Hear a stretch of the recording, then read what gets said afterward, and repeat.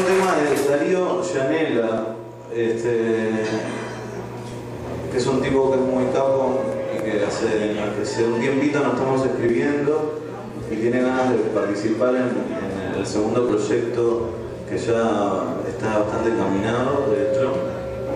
Bueno, Darío Llanela, para el que no lo sabe, es el, compositor de Tarkus de, de 1972 y es un genio. Marc de Manzanas. Thank you.